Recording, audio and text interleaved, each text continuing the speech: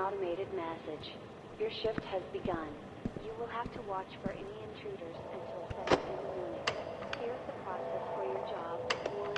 Watch for any intruders on the cameras. And 2. If any breach is made in the building,